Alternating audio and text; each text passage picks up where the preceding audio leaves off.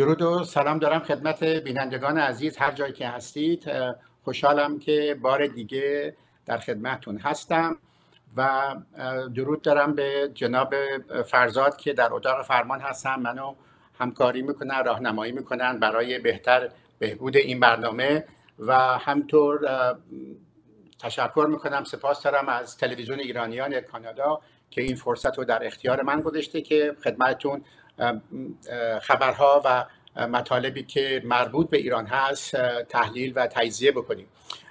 قبل از اینکه به سالن برم و به مهمان عزیز امروزم سلام و خوش آمد بگم. دو تا کلیپ خیلی کوچیک بود. می‌خواستم که اینو به عنوان پیش درآمد خدمت شما ارائه بکنم. یک ویدیو پنجاه ثانیه ای هست.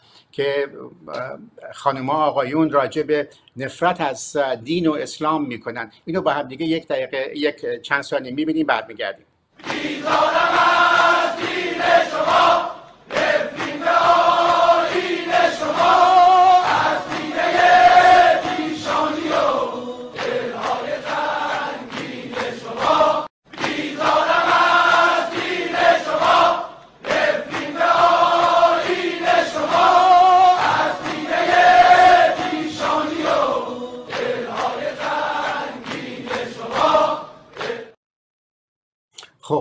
راجع به این موضوع با مهمان عزیزمون صحبت خواهیم کرد که مردم از حتی از مرگ بر خامنه ای هم گذشتن و رفتن به یک مرحله بالاتر.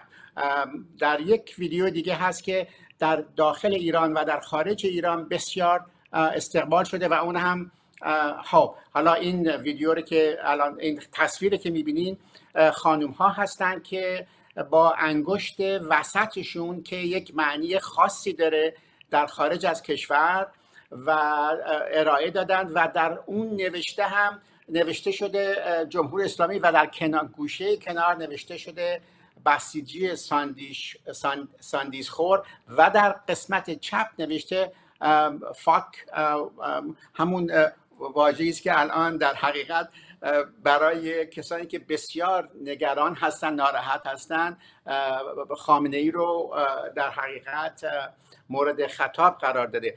این هموطنان ما در حقیقت به یک جایی رسیدن که جای برگشتی رو برای خودشون نمی‌بینن. و من حالا نظرات مهمان عزیزمون رو خواهیم گرفت در این مورد. چند تا ویدیو دیگه هم هست که بعدا در وسط صحبتامون راجع بهش صحبت خواهیم کرد. میریم به سالن و خدمت جناب کیانوش توکلی. مهمان عزیزمون درود میگم خوش آمد میگم و ازشون سپاسگزارم که بار دیگه به این برنامه تشریف آوردن و بتونیم از نظراتشون استفاده بکنیم. در قسمت در دفعه قبل که اینجا بودن خیلی استقبال شد از نظرات جناب توکلی به خاطر تجربیات زیادی که در در مبارزات در حقیقت میشه گفت 40 50 ساله شاید هم بیشتر شاید هم از زمان تینیجریش داشته. حالا وارد اون نمیشیم. اینه که تجربیات بسیار داره جناب توکلی خوش آمدید. سپاسگزارم. منم سلام می‌کنم به شما و فرزاد و همچنین به همچنین بینندگانتون در هر کجایی که هستن در خدمت. و خیلی ممنون. می‌خوام شما رو همینطور که با تلفن صدا می‌کنم همونطور سوال کنم. کیانوش جان می‌دونم که دقیقه به دقیقه به خاطر رسانه ای که داری تمام فعالیت ها تمام برنامه هایی که در محور ایران و جمهوری اسلامی میگذره نگاه می‌کنیم. می‌خواستم که شما یک پیشگفتاری راجع به این قیام یا جنبش یا انقلاب یک پیشگفتاری داشته باشین که بعد بریم به متن موضوع برسیم. بفرمایید. من بیشتر می‌خوام در رابطه با شناخت این جنبش و فرقش با خیزش های قبلی مثلا 96 داشتیم 98 آبان 98 داشتیم. قبلتر نمی‌دونم جنبش به صلاح رأی منکو 88 داشتیم و یه مقدار گذشته تر برگردیم به سالهای دهه شست و اگر نگاه بکنیم مبارزات این 43 ساله از سیاسی به معیشتی یعنی از سیاسی به مسائل اقتصادی و مسائل رفاهی کارگران و بازنشستگان و نمی‌دونم مسئله استخدام و اینا سود کرده.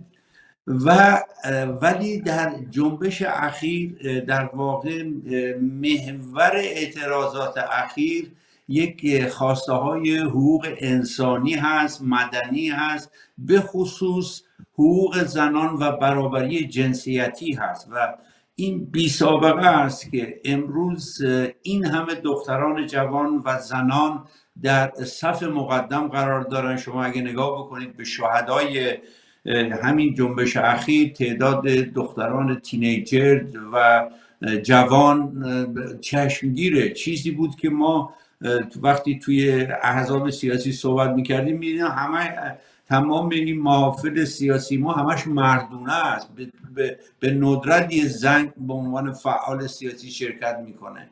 ولی امروز در واقع همه ما داریم می‌بینیم که مدارس دانشجوها دانش آموزا به خصوص دانش آموزا امروز میان تو خیابون روسریاشون رو در میارن و این اصلا بی سابقه است. بعد اگر در سطح جهان هم نگاه بکنیم به غیر از اون سال 2018 بود فکر کنم یا تاریخ جان سیاهان ارزش دارد. مال به صلاح اون درگیری جورج فلاید بود که در بازداشت پلیس فوت کرد و یک حمایت بین المللی به دست آورد. واقعا این مسئله محسا یا ژینا امینی به یه همچین گسترش حمایت بین المللی وسیع رو گرفته. این واقعا بینظیره. این یک ثروت. از ما یک چهره خوبی ترسیم کرده و ما باید این چهره خوب رو با اقلانیت و دوری از افرادگری حفظ کنیم. و نکته دیگه این هست که الان ما وارد چهارمین هفته اعتراضات شدیم. شما اگه نگاه بکنید به آبان یا دی 96 یا حتی مثلا به تظاهرات های مسالمت آمیز 88 نگاه بکنیم علا رقم این درگیری حادی که وجود داره و دستگاه های اطلاعاتی سرکوب و رسانه های حکومتی همه متحد شدن با شمشیر زناشون در خیابون اینجوری می‌زنن و مردم همچنان ایستادن. امروز هم این مبارزه ادامه داشته و بنابراین این سومین به صلاح چی میگن ویژگی این جنبش هست. من اضافه بکنم به صحبت های شما. علاوه بر اینکه اشاره کردین راجع به این بار مسائل معیشتی مطرح نیست هیچ شعاری هم راجع نوع حکومت هم صحبت نکردند اگر یادمون باشه در شعارهای قبلی می‌گفتن که رضا شاه روحت شاد نمی‌دونم از این صحبت ها می‌کردن. و الان به هیچ وجه هیچ کدوم از این شعارها رو حداقل من ندیدم. ولی و بعد این نشون میده که در حقیقت فوکس کردن اون هدفشون رو تغییر نظام گذاشتن. یعنی هر چی که شما نگاه می‌کنین مربوط میشه به تغییر نظام. حتی راجع به بعضیا که راجع به رفراندوم صحبت می‌کنن فوری خاموششون می‌کنن. نمیگن ما رفراندوم می‌خوام یا هر چی دیگه. برای اینکه می‌دونن که جمهوری اسلامی یک مفری می‌خواد که از اون بتونه فرار بکنه. بنابراین مطالب مختلفی رو مطرح می‌کنن. شما راجع به اون Black Life Matter گفتین که جورج فلوید رو اشاره کردین که انعکاس فوق العاده داشت. اضافه بکنم از نظر جهانی از نظر پیش پشتیبانی جهانی اون چیزی که من در رسانه های خارجی می‌بینم بسیار خیلی بیشتر هست تا زمان جورج فلوید. و این هنرپیشه ها خواننده ها سلبریتی ها ورزشکارها اصلا یک چیز فوق العاده و این مجبور کرده کیانشان مجبور کرده که سیاست مدارها نظرشون راجع به ایران کلا عوض بشه و این موضوع دموکراسی هست که وقتی که مردم می‌خوان یه چیزی رو می‌خوان از یعنی میان تو خیابون شعار میدن سیاستمدار فوری اینو پیکاپ می‌کنه برداشت می‌کنه و ازش استفاده می‌کنه. بنابراین راجع به صحبت ها کردیم راجع به محسا امینی صحبت کردیم و راجع به حدیث بعد اشاره بکنم. راجع به نیما نیما پسری است که 16 سالشه. یعنی هم عکسش هم ممکنه الان باشه. این امروز اومد بیرون شاید هم دیروز اومده باشه. اگر بود که بینندگان هم می‌تونن ببینن. نیما شفق 16 سالشه. عرشبت حضورتون که زخمی شد و بعدم که بیمارستان یا دیر رسید یا نرسید و متاسفانه این جوان هم کشته شد و کیانوش چون همونطور که اشاره کردی تا اونجا که من رصد کردم اکثر یا همه کسانی که کشته شدن همشون در همین سن 16 و 18 و 20 20 و چند هست. من در خدمتم بفرمایید. بله من فقط اشاره بکنم که الان چه کمبودی, کمبودی هست؟ اینی که بشه به اون تشکل های مدنی اون سندیکاها و تشکل معلمان کارگران اینها به میدون بیان مال بازنشسته ها که اگر این پیوند برقرار بشه نبرد یعنی خیابان دارای یک پشتیبانی مطمئنی میشه.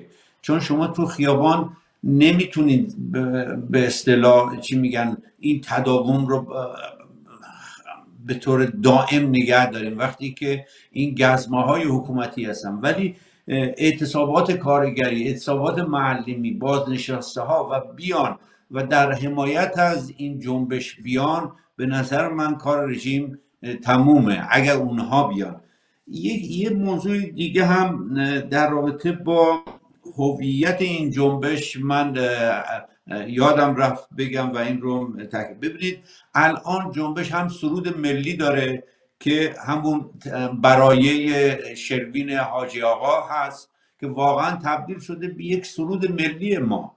و یکی دیگه ما پرچم و پرچم های مختلف داریم.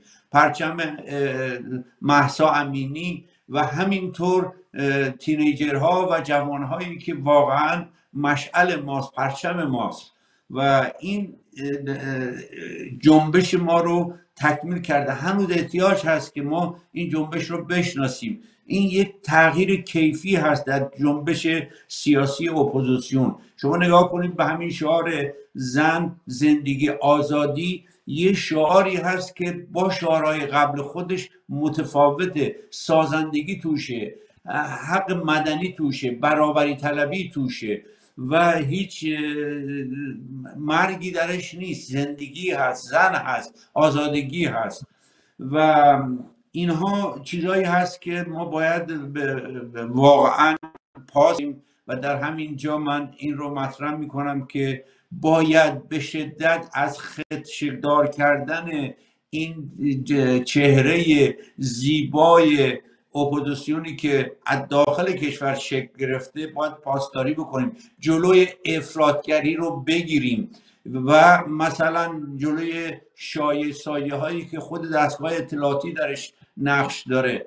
ما در خیلی جاها می‌بینیم مثلا تو فرض کنیم روز اول اکتبر که شما کانادایی ها واقعا گل کاشتین یعنی اصلا بینظیر بود در تاریخ خود کانادا و اینا همه ثروت شما نگاه کنید اون روز اول اکتبر درش هزاران دکتر و پروفسور و دانشجو و نخبه ایرانی هم بودن که برای سرمایه های آتی ایران هست. خب ما در کنار این که اون روز اول اکتبر خب 160 شهر دنیا تظاهرات کرد. خون از دماغ کسی نیومد و هیچ کسی هم با پلیس کشورهای غربی درگیر نشد. ولی متاسفانه در لندن قبل از اول اکتبر یک سری آدما حالا عصبانی بودن حالا هرچی شروع کردن حمله کردن و یه چهره خشن از جنبش تصویر کردن. ببینید اینها تمام اینها رسد میشه توسط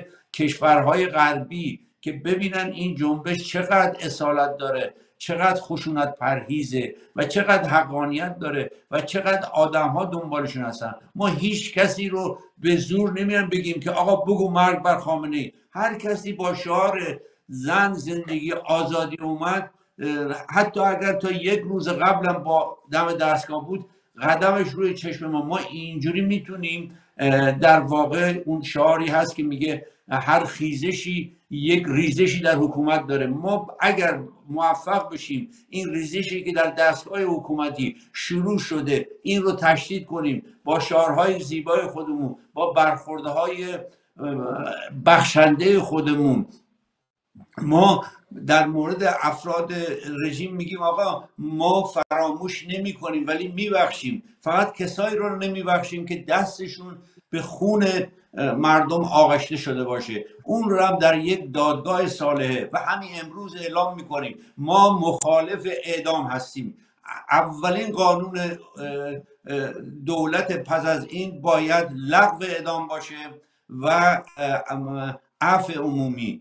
اینجوری ما می‌تونیم ریزش رو در درون حکومت سازم. وگرنه آقای جمع دولت های غربی یا آمریکا دیگه در اون چیز نیستن که بیان برای ما حمله نظامی بکنن مثل افغانستان مثل عراق مثل جای دیگه. بنابراین ما اگر این رهبری رو داشته باشه و در همین جا من راجع به دعوت می‌کنم از احزاب و سازمان های سیاسی اپوزیسیون بیاین یک دفتر دفتر همکاری های احزاب و سازمان های سیاسی بیارین و شعارهایی که امروز در درون ایران هست اونها رو جزو شعارهای خودشون بیارین و در و این کار این دفتر هم دفتر هماهنگی هم اینه که کمک بکنیم به خانواده های آسیب دیده. ببینید من با ایران تماس دارم با یه خانواده ای که مثلا چند تا فرزند داره یکی دو تا فرزندش هر روز میرن توی به اصطلاح اتفاقا دخترم هستن. میرن توی این مورد شرکت می‌کنن. بعد صحبتی که می‌کردیم می‌گفت که بابام نمیاد. باباش می‌دونی چی دختر تو اگه دستگیر بشی من میرم سند میدارم تو رو آزاد میشم. من کار می‌کنم خرج پنج نفر رو میدم. اگه منو بگیرن کی خرج این خانواده رو میدن خب بنابراین ایجاد یک صندوق مالی. که ما کم نیستن. اگر ما ما یک دلار بدیم این همه ایرانی هایی که روز اول اکتبر اومدن با به جای یک دلار صد دلار خواهند داد.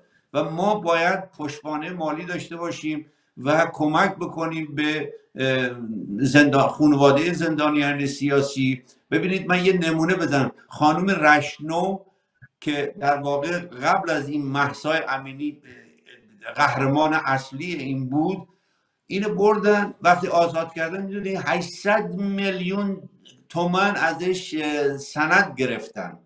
حالا حساب کنید یه خانواده متوسط 800 میلیون چیزی کمی نیست. حالا برای اونایی که تو خارج هم می‌خوام به دلار حساب بکنن شاید مثلا چیزی نباشه ولی برای یه خانواده در ایران فاجعه است. ما باید این داشته باشیم. یه مسئله دیگه ای که آقای افشین باید در نظر بگیریم ما باید تاکتیک ها و تکنیک ها و شعارهای تاکتیکیمون رو ارائه بکنیم.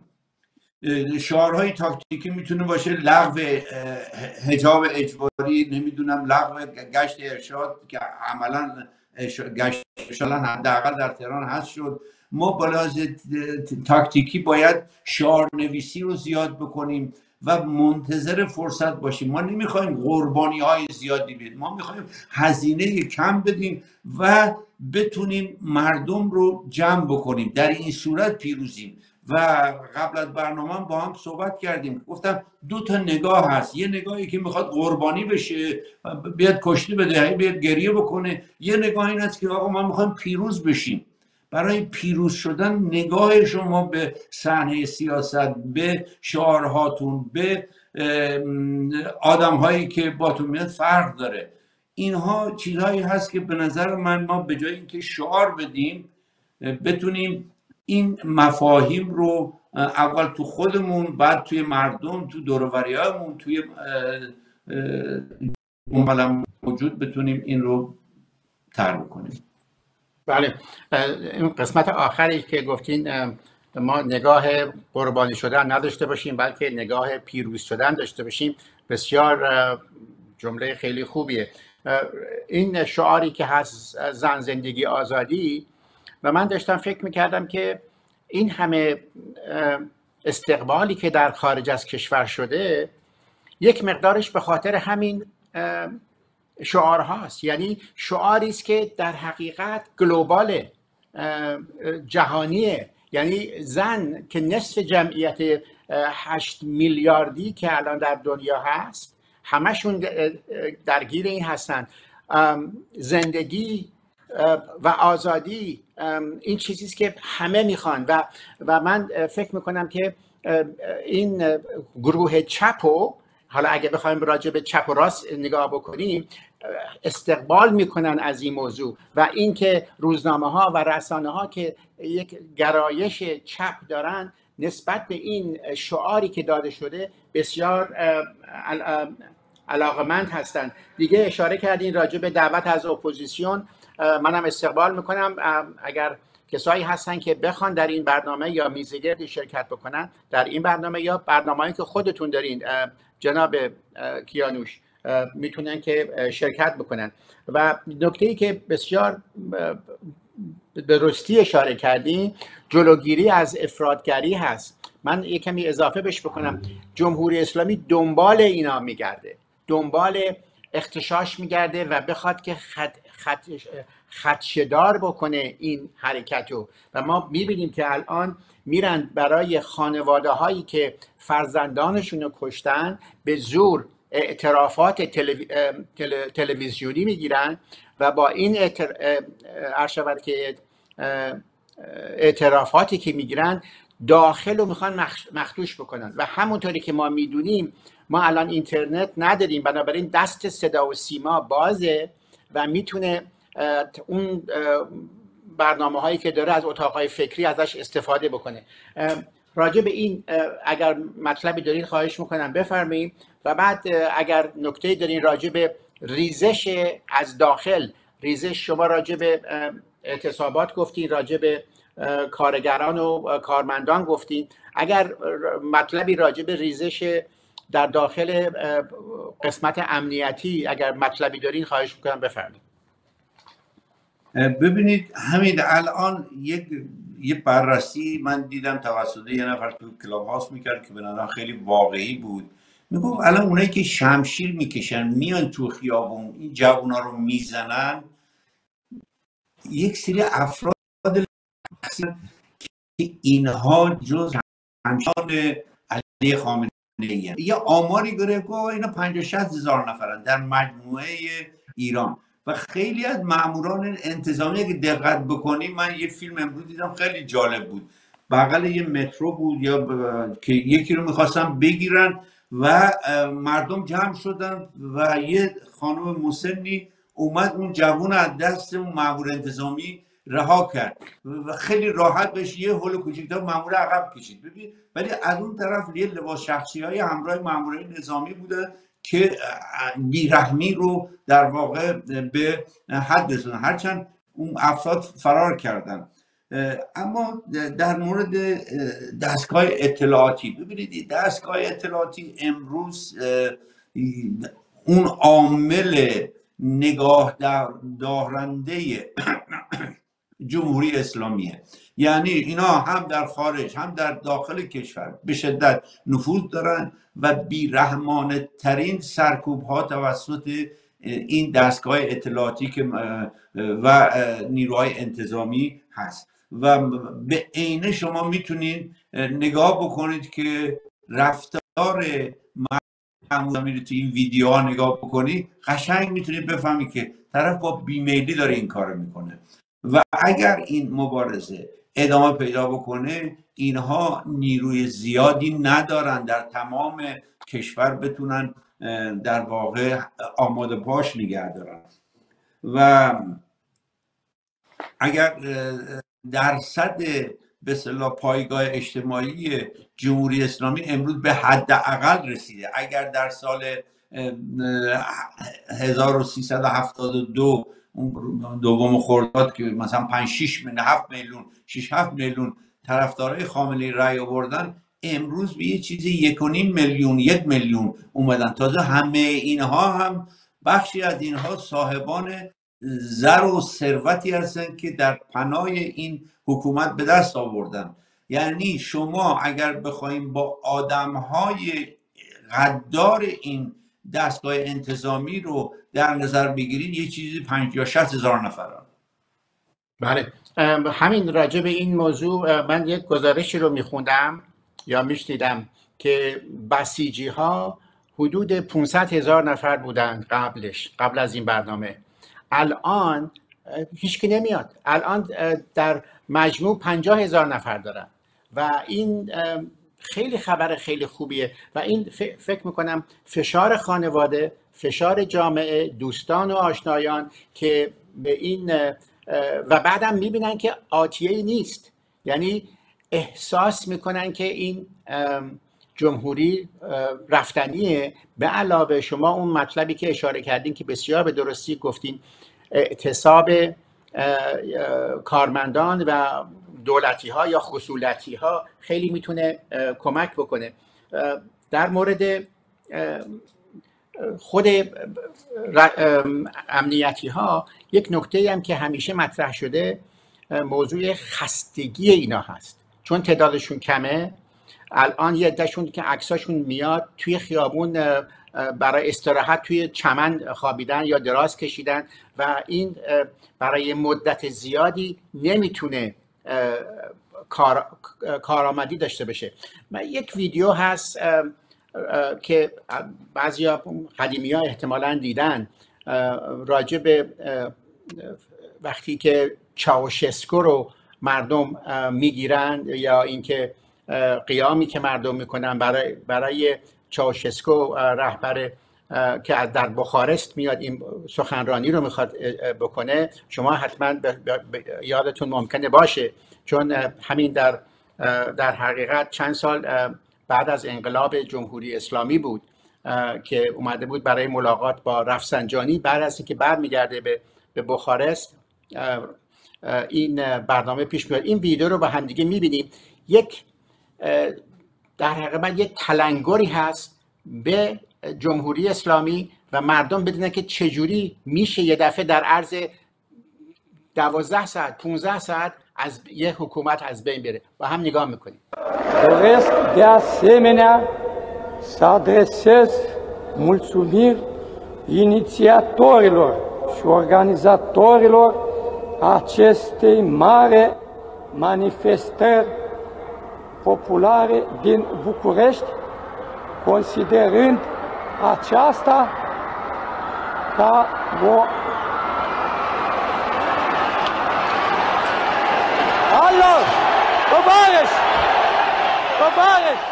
Ceausescu appeared stunned by the mass protests that erupted in December 1989 against his rule. His all-powerful regime was losing control.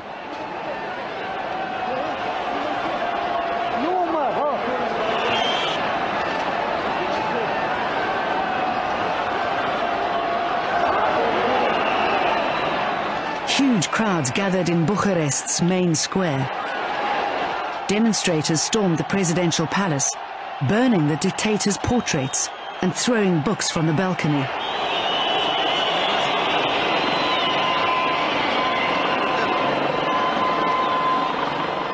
Ceausescu and his wife made their getaway.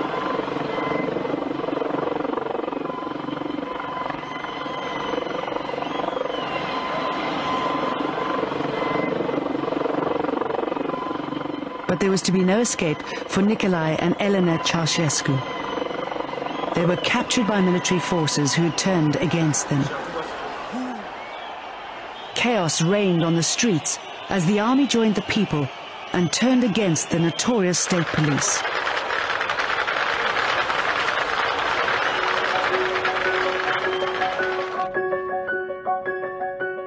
On December the 25th, the Ceausescus were tried in a hastily assembled military tribunal. They were both found guilty of crimes against the state. They were taken outside and executed.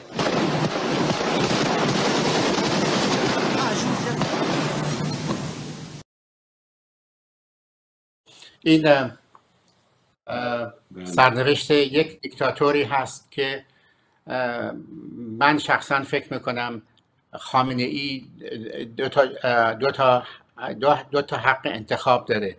یا اینکه به این سرنوشت دچار بشه چون خشم مردم نمیشه جلوشو گرفت. و بعد خشم بسیار بسیار زیاده.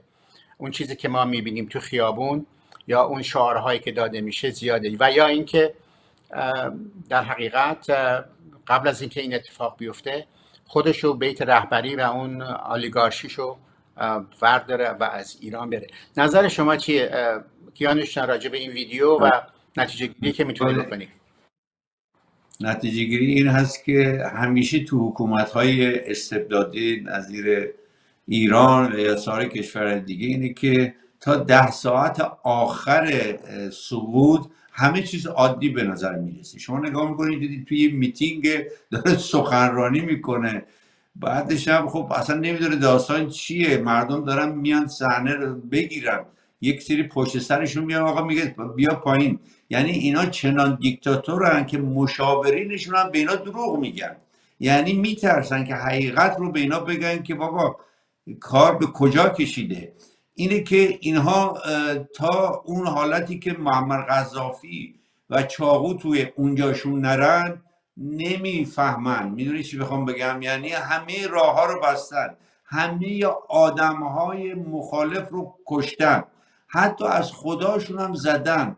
ببینید مگر فرض کنیم سید آقای موسوی سید حسین موسوی مگه چیکار کرده بود؟ میگه آقا انتخابات تقلب شده.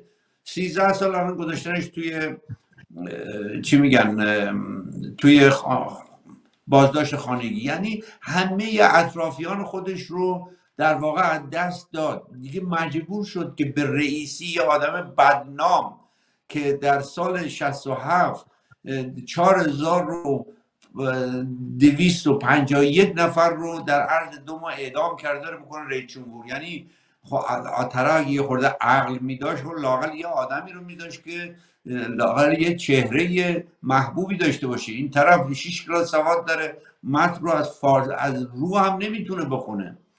خب اینها مسائلی هست که در حکومت هایی که استبدادی به این شکل میره فقط لحظات آخر ده ساعت آخر می‌فهمن که اوضاع چجوریه. بله. یک راجع به همین موضوع که گفتی من داشتم زمانی که صدام حسین روزای آخرش بود یادم است که وزیر فکر کنم وزیر اطلاعات بود در برنامه زنده تلویزیونی داشت صحبت می‌کرد و می‌گفت که ما ما آمریکا رو شکست میدیم الان در حال این کار هستیم و یادم نمیره کیانوش هواپیماهای آمریکایی از بالا سرش رد می‌شدن. و این موضوعی که شما میگین که حدود ده دوازده ساعت 15 ساعت ممکنه طول بکشه یه وقت یه همچین اتفاقی میفته و در این مورد هم صادقه. یک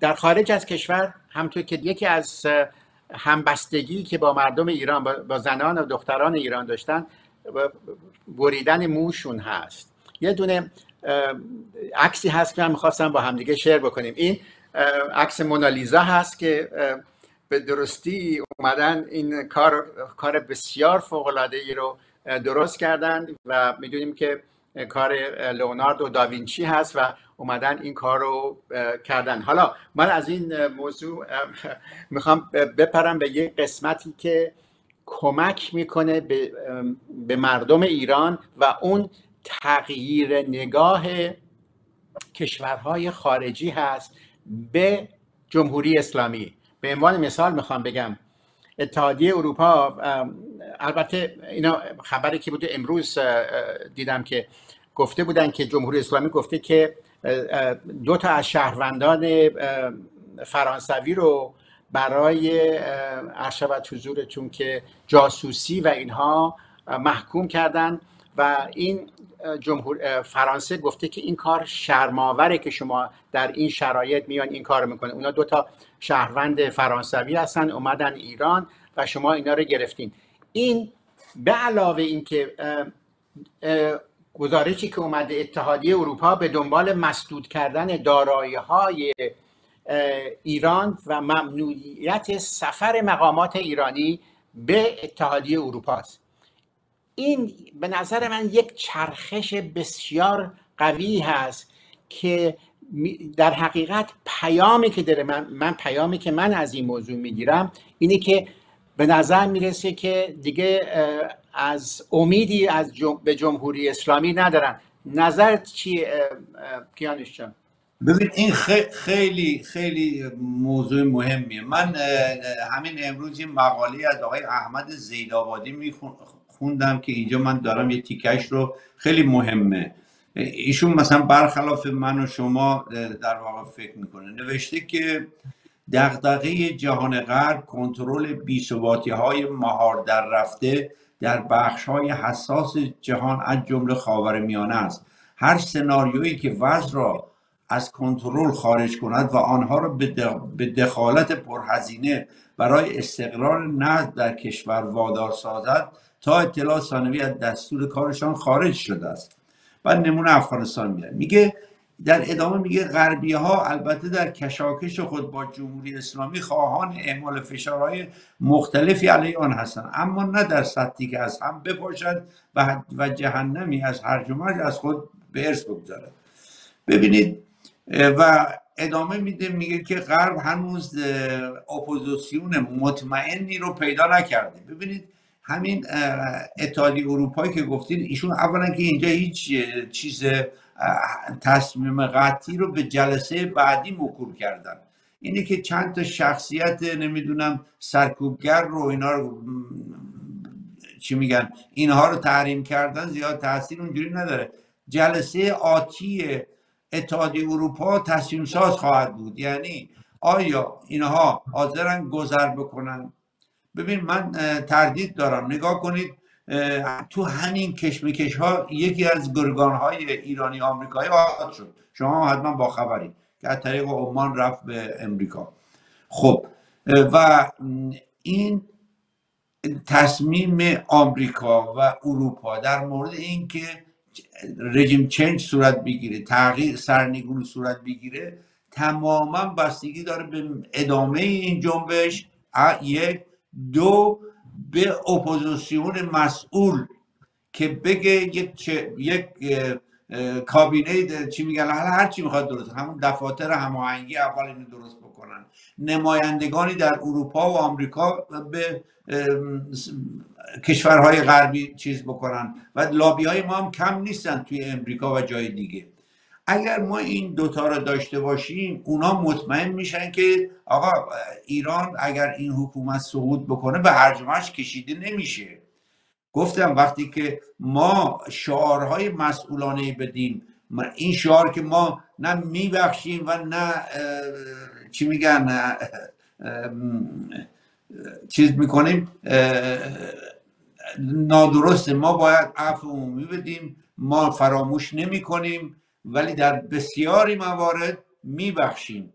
و اگر هر کدوم از افراد نظام همین فردا هم بیاد قدمش رو چشم ماست. مگر اینکه دستش به خون آلوده باشه. اون دیگه از دست ما خارج به یه دادگاه صالحه باید باشه. اگر ما چنین اپوزیسیون مسئولی رو درست بکنیم که جلوی افراطی گرایی و جلوی اینکه الان ببینید شما مثلا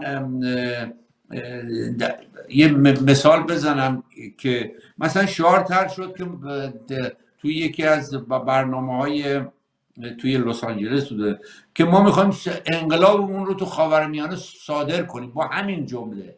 البته نمیگم کی گفته. این غلطه. ما انقلاب صادر شدنی نیست. هر کسی نگاه بکنه به این جنبش مدنی زنان ایران خود به خود در افغانستان در عربستان در عراق در همه کشورهای اسلامی این تقویت میشه. ما نمی‌خوایم کشورهای عربی رو بترسونیم که ما می‌خوایم در شما صدور انقلاب بکنیم.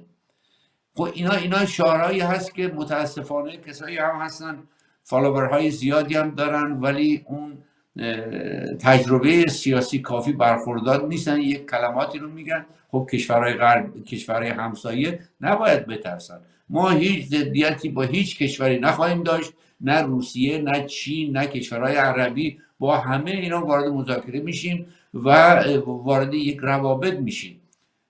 بنابراین با این چهره هست که اعتماد جهانی به این اپوزیسیون جلب میشه. مردم تو کف خیابونن اپوزیسیون فعلا در خارج کشور می‌تونه دفاتری رو ایجاد بکنه.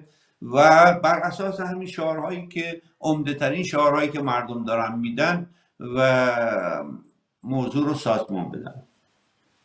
من اون مطلبی که قبلا گفتم اصلاحش بکنم. این دو نفر فرانسوی رو اعتراف اجباری از تلویزیون گرفتن. و من اینو به درستی در چند دقیقه پیش نگفتم ولی الان واقعیتش این بود که اعتراف گرفتن و این هست که در حقیقت نکته ای که برای من بسیار بسیار جالب بود و جالب کیانش و اونی که به خارجی ها نشون میده که اینا چقدر کسی وحشی و و تمام اون برای ایرانی ها هم ثابت میشه. اونایی که یک کمی شک داشتن که تمام این چل چل سال چل سه چهار سال که اعترافاتی رو گرفتن شما راجع به سپیده رشنو اشاره کردین که با چشم ضرب دیده که مشت خورده بود آوردن که اعتراف ازش گرفتن و می‌خواستن ترس ایجاد بکنن و اینا تمام نشون میده که اینا چقدر واقعا نمیشه گفت وحشی و... یعنی نمیشه گفت اصلا انسان هستن نمیشه گفت حیوان هستن. اصلا نمیشه بهشون لقبی داد. در مورد اشاره کردین که کشورهای خارجی می‌خوان ببینن که آلترناتیو چی هست جایگزین چی هست. حتما شما چون تو رسانه کار می‌کنین و هدفتون هست یک گروهی پیداش یعنی شروع کردن که تا هفته پیش 22 نفر در این گروه هستن که حتما اسامشون رو دیدین. شاهزاده رضا پهلوی هست آقای شریعت مداری هست هر شود که آقای نقرکار هست و دیگران. که البته تا اونجا که من استنباط کردم این گروه به صورت پریمچور یعنی نابالغ اومدن اعلام کردن. قرار بود که این, این تعداد بیشتر باشه با یک برنامه کنفرانس مطبوعاتی درست باشه هدفهاشون مشخص باشه عجله کردن و خب مثل بقیه کارهای دیگه دیگه مدیریت درستی نکردن با پوزش از تمام کسانی که در اونجا هستن که دوستان بسیارشون دوستان من هستن و فرهیخته هستن آمدن این کار کردن. من امید دارم امید دارم که این گروه بچسبن به هم دیگه. با تمام اختلافاتی که ممکنه داشته باشن که در حقیقت یه دونه هدف دارن و احتمالا و اون هدف هم اینی که سرنگونی جمهوری اسلامی هست و به این بچسبن و هر چیزی که دارن بذارن کنار من فکر می‌کنم که یک امیدی یک روزنه امیدی هست. نظر شما چیه کیانشان راجع به این موضوع. بله. من, من هم در جریان این مسئله بودم. وقتی هم اعلام شد اگه دقت کرده باشین فقط من اعلام کردم اونم از با سایت ایندیپندنت فارسی. بعد رفتم چویا شدم گفتم چیه اینا؟ گفتن اشتباه شد برای اینکه امکانات فراهم نشد. و الان در تلاشن که یک به اصطلاح یک جمع خیلی خیلی وسیعتری رو ایجاد بکنم. منم خوشحالم همه خوشحال هستیم. و ببینید یه چیزی می‌خوام بگم که تا قبل از این محسا امینی جنبش در تفرقه بود در ناامیدی بود و چی یک انصدادی وجود داشت. این خیزش اخیر و این جنبش با این شعارها و با این مشخصاتش انصداد سیاسی رو در اپوزیسیون شکون و ما حالا روزهای آتی شاهد حرکت های بهتری خواهیم بود. بله. من می‌خواستم راجع به یک موضوع دیگه مطرح صحبت بکنم کیانشان و اون اینکه جام جهانی در راه هست من توی فیسبوک هم و در یکی از رسانه دیگه زمانی که مهدوی کیا گفتش که فکر می‌کنم اگر مهدوی کیا باشه یا یه نفر دیگه از افرادی که گفته بود در تیم ملی کار دیگه کار نخواهد کرد. احتمالا اگر اشتباه نکنم مهدوی کیا بود. من مطلبی رو نوشتم و اون مطلب این بود که به نظر من حالا می‌تونی نظر خودتو بگی منو نقد بکنی برخلاف اون چیزی که من نوشتم که البته بسیار استقبال کردن و اون این بود که به نظر من تیم ملی ایران اگر بایکوت بکنه تحریم بکنه. مسابقات جهام جهانی و به نظر من برنده جام جهانیه. چون جام جهانی میاد هر چهار سال به دفعه میاد و میره.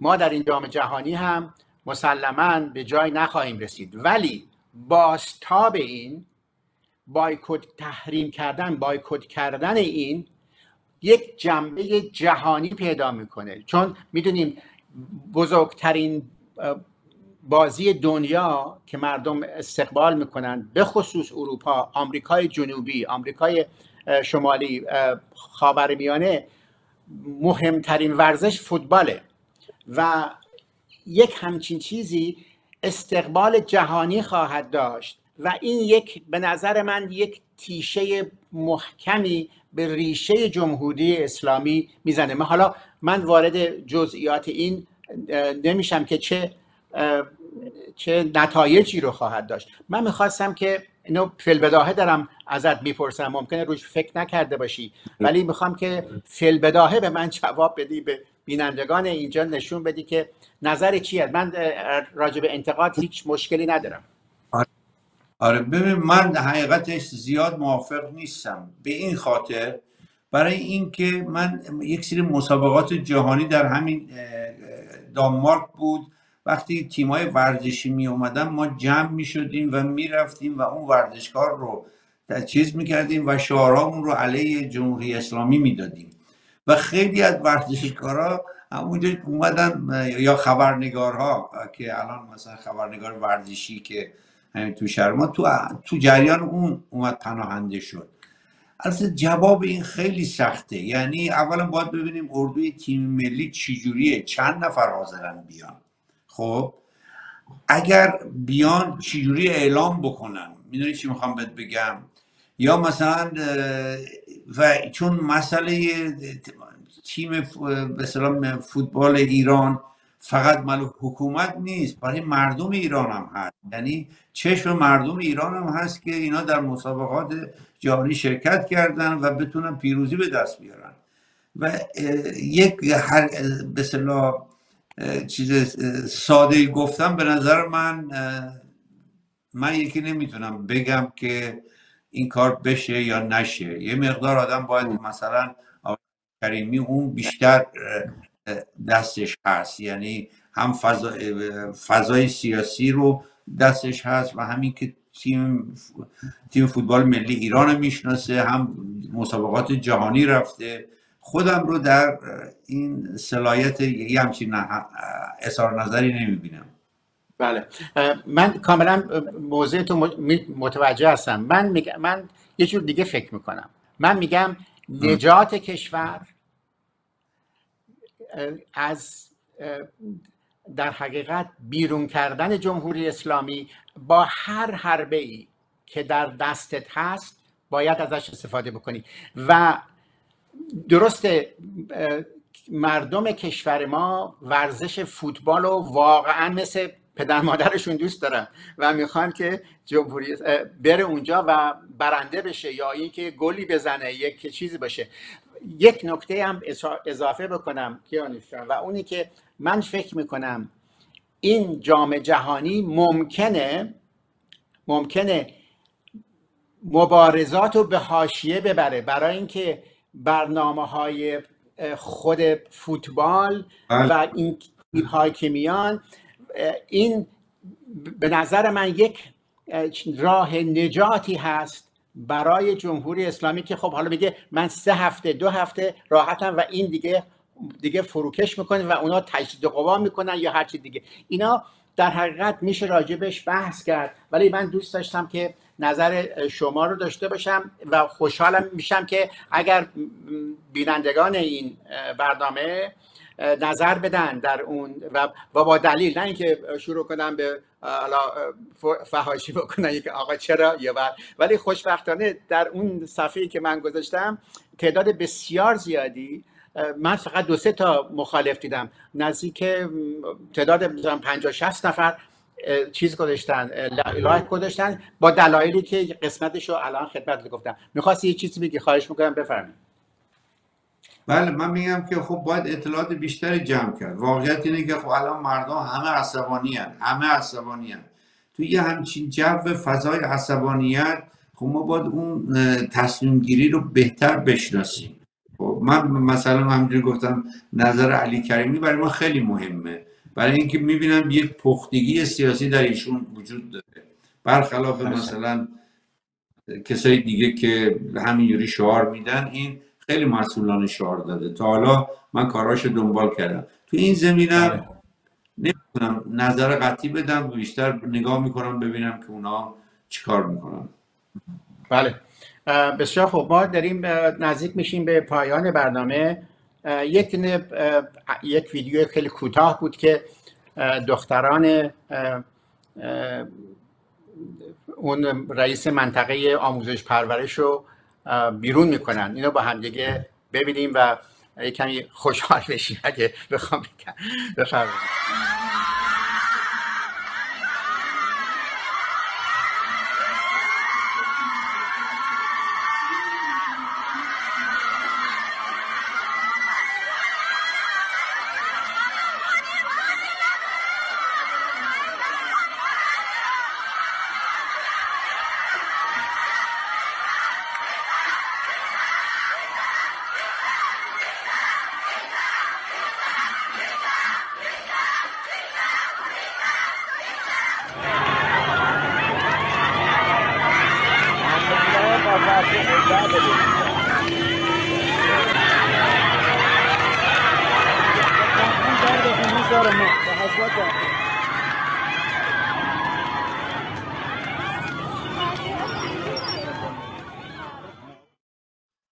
بله خیلی ممنون.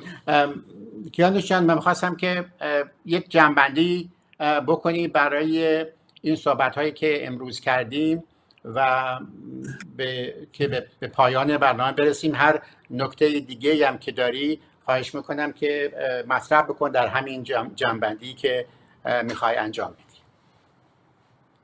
بله. ببینید همونجور که از اول برنامه من شروع کردم ماهیت این جنبش چیز جدیدیه. یک فراتر از مرزهای ملی هست و یه چهره خیلی پوزیتیوی از مخالفین رو نشون میده. ما باید در حفظ و حراست این چهره بکشیم از هر گونه افراطی گرایی خودداری بکنیم بعد در عرصه خارج کشور در ادامه همون اون تظاهرات اول اکتبر 2022 رو ما بتونیم این رو همچنان نگه داریم و به عنوان حمایت از داخل کشور و نکته آخر همون ایجاد دفاتر هماهنگی احزاب و سازمان های سیاسی به اضافه شخصیت های منفرد. بشه. اگر مثلا یک دفتر در اروپا و یک دفتر در امریکا یه دفتر در استرالیا تو جایی که امکانش هست ایجاد بشه و برای هدفش هدف از ایجاد این هم هماهنگی هست. کمک به جنبش عملا موجود در داخل هست. در رأس اونا حمایت از خانواده های شهدا و زندانیان سیاسی. و این خیلی مهم هست. ما باید پشتوانه چیز داشته باشیم و دیگه چیز دیگه به نظر هم من نمی‌رسه به عنوان جنبندی. بله نه خیلی ممنون. مطالب مهمی رو مطرح کردیم. من دوست دارم که بینندگان ما نظراتشون رو بدن چون خیلی مطالب مهمی رو مطرح کردیم. و من امیدوارم که اون گروهی که راجبش صحبت کردیم که تا حالا 22 نفر از گروه های مختلف به صورت اندیویدوال به صورت شخصی شرکت کردن. این به صلاح اعلام وجودش موجودیتشون رو با هدفهاشون مشخص بکنن که کشورهای گوناگون بدونن که چه اتفاقی داره میفته اگر قرار هست که تصمیماتی گرفته باشه. و بعد در داخل هم بدونن که یک همچین افرادی هستن که از پشت دارن نگاه می‌کنن و این خود این برنامه می‌تونه از نظر رسانه‌ای که بتونه در حقیقت به صورت ممتد ادامه پیدا بکنه و این خبرها رو هم به داخل بده و هم به خارج به انگلیسی به زبانهای مختلف بده. من فکر می‌کنم که اون مشکلی که ممکنه خارجی ها داشته باشن که خب حالا اینا رفتن بعد چی میشه؟ اون مشکل بتونه رفت بشه. که البته تا اونجایی که من اطلاع دارم قرار هست که این اپوزیسیونی که این کار رو انجام میده به صورت شورایی کار بکنه که البته بسیار به نظر من کار درستی هست که این کار انجام میشه اگر مطلبی نداری کیانوشان برنامه رو در اینجا ببندی. اگر خواهش می‌کنم بفرمایید. مطلبی داری بفرمایید. ببینید آره فقط یه نکته که من یادم رفت در مقاله آقای احمد زیدآبادی یه پاراگراف من اینو می‌خونم و تمام داستان. میگه آقای زیدآبادی به نظرم تا جهان غرب نسبت به کنترل موثر پیامدهای امنیتی تغییر رژیم در ایران و ثبات و انضباط نظام جایگزین آن کاملا مطمئن نشود محال از سیاست تغییر رژیم در ایران را عملا در دستور کار خود قرار دهد. تحقق این دو شرط هم در آینده قابل پیش بینی بسیار دشوار به نظر می به خصوص اینکه مدعیان جایگزینی اصلا فهمی از مقولات بنیادی نظام بین ندارند نه به عنوان تایید بلکه به عنوان اینکه ما بتونیم در واقع یک اپوزیسیون مسئول که نظام بین المللی را می‌شناسه به عنوان دیپلمات های در تبعید عمل بکنیم و این اطمینان رو ایجاد بکنیم که با رفتن جمهوری اسلامی منطقه شاهد نظم بیشتری خواهد شد. تمام. بله. بسیار خوب. من با بینندگان عزیزم با توسط با شما و جناب مهندس در اتاق فرمان از شما سپاسگزارم. تشکر می‌کنم. تا برنامه بعدی. روز و شبتون بخیر باشه.